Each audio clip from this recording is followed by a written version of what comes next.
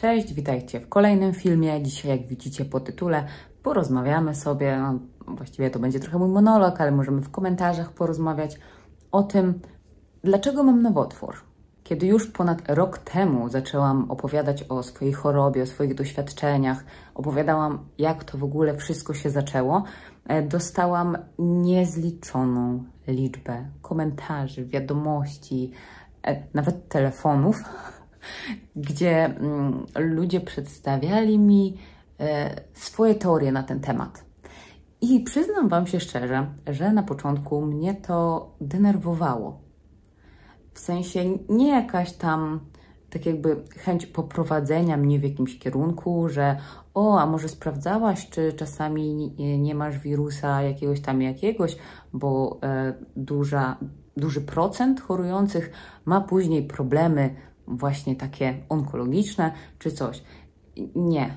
To było mówienie mi e, na przykład, no weźmy tę pizzę, ja ją bardzo często tutaj te pizze i buraki przywołuję, bo po prostu tego było bardzo dużo, że jadłaś pizzę, to masz nowotwór, chyba wiadomo. Albo, że na przykład, no ty przecież żadnego sportu nie uprawiałeś przez ostatnie 20 lat, no to czego się spodziewasz?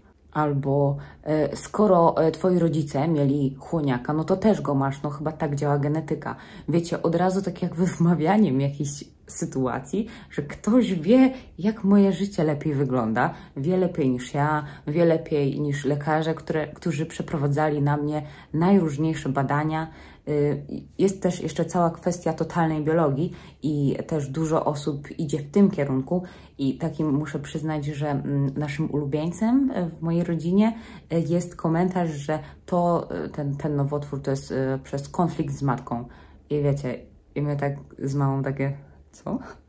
Mam jakiś konflikt, ten człowiek o czymś wie, nie? No, nie wiem. No i y, denerwowało mnie po prostu nie samo szukanie tej przyczyny, tylko właśnie takie wmawianie mi. Wmawianie mi jakichś y, wyników badań, wmawianie mi jakichś dodatkowych chorób, wmawianie mi, jak w ogóle moje życie wyglądało przez te ostatnie lata.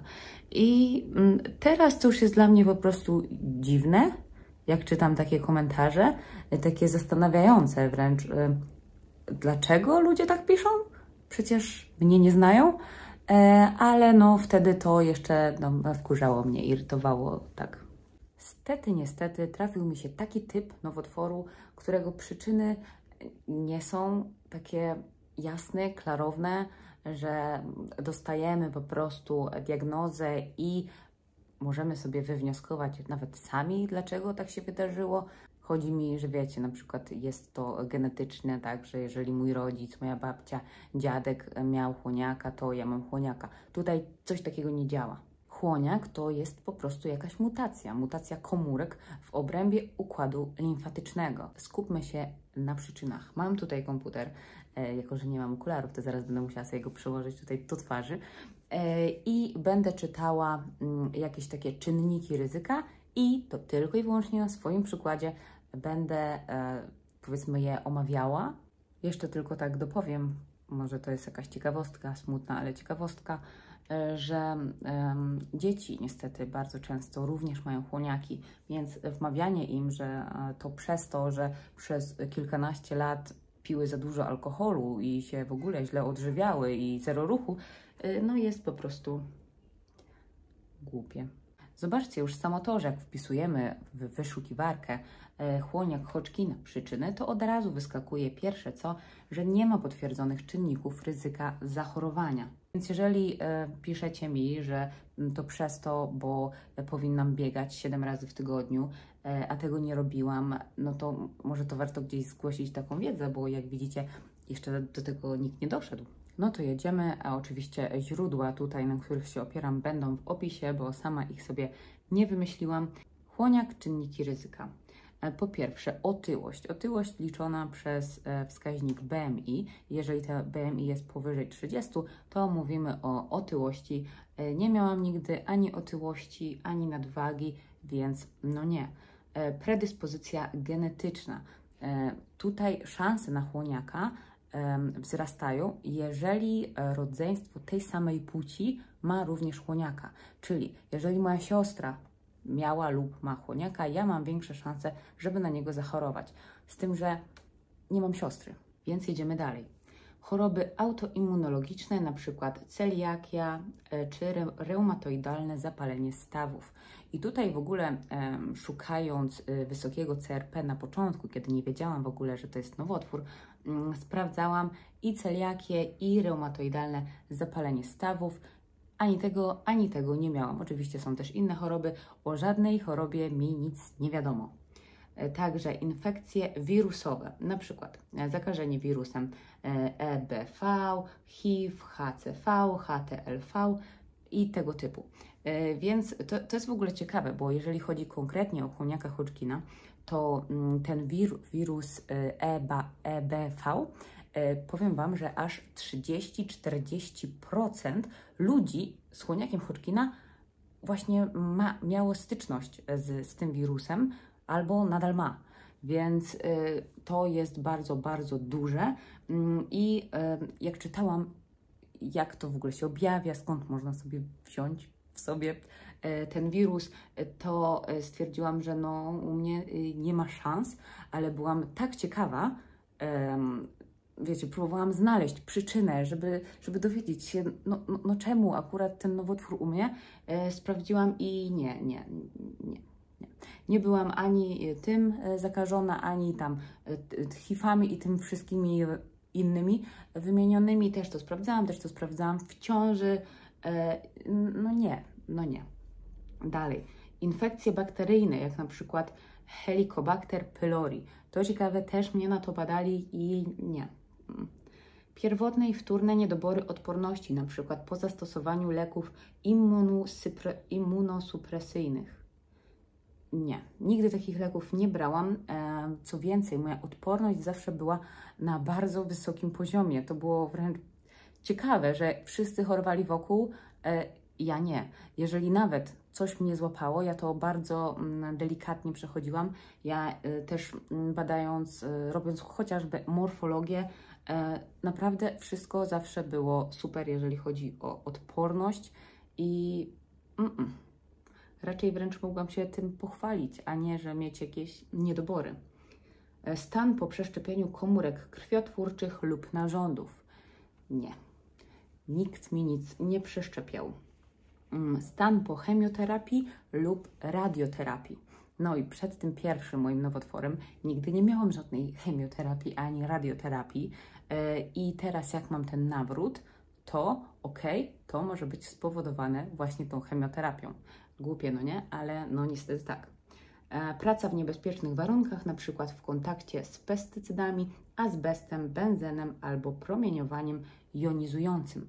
Na początku też się mnie pytali, mm, czy ja w swojej pracy, czy ja na co dzień mam do czynienia z jakimiś takimi substancjami trującymi, ale nie.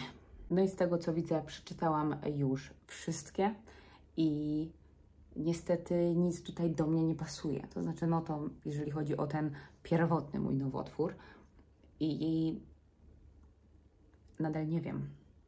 Ale tutaj jeszcze dosyć istotne jest to, e, że mm, objawy w tej chorobie nie są charakterystyczne. Może to być wysoka gorączka powyżej 38 stopni, trwająca dłużej niż dwa tygodnie. Nie miałam tego. Pocenie się w nocy. Nie miałam tego Spadki wady, wagi powyżej 10% masy ciała nie. A dodatkowy niepokój powinny szczególnie wywołać powiększone węzły chłonne. I tutaj bardzo dużo, wręcz większość osób właśnie tak trafia do lekarza, że czuje, że ma powiększone węzły chłonne. One nawet e, nie, tylko, że się je czuje, ale nawet je widać. Jak ja bym o teraz tak o zrobiła szyją i wiecie, i, i by mi tutaj wystawały takie gule, albo chociaż jedna.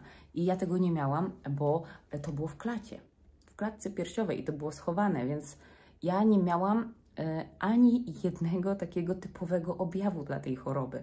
Więc e, jak gdzieś tam się zaczynało ten temat, to mm, nie. Bo wiecie, morfologia? Nie, super, idealnie. Żaden czynnik ryzyka? Mm, nie, nie ma. E, I żaden objaw? Nie, nic. Więc w moim przypadku to było dosyć mocno niestety zagmatwane. Też dokopując się trochę bardziej jakichś różnych badań mm, coraz nowszych, bo idzie to wszystko wiecie, w lepszym kierunku. I tak, chorować w tym roku na nowotwór, a chorować 20 lat temu, 30, to jest znaczna różnica i myślę, że za te 10-20 lat jeszcze do przodu e, w ogóle, wiecie, o tej chorobie po prostu będzie coraz więcej wiadomo, coraz lepiej będzie, coraz łatwiej będzie ją leczyć. Słuchając różnych podcastów, różnych doktorów, profesorów, e, bardziej wchodząc w jakieś różne m, takie, powiedzmy, nowsze badania, e, jakbym miała sama określić, dlaczego jakie w ogóle są szanse. W sensie to nigdy pewnie nie zostanie u mnie potwierdzone, tylko to jest trochę takie gdybanie,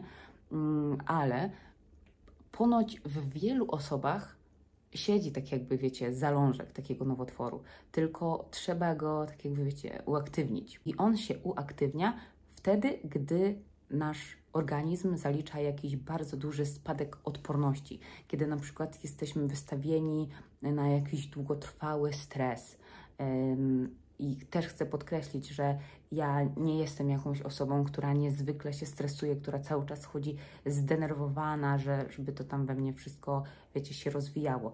E, raczej nie, ale jeżeli właśnie jesteśmy cały czas zestresowani, jeżeli um, się nie wysypiamy, po prostu nie regenerujemy tego organizmu, to coś tam może powoli zacząć się rozwijać, właśnie tak jakby uaktywniać. Że jeżeli będziemy wiedli jakieś a, spokojne życie, w ogóle luz, to to zostanie uśpione.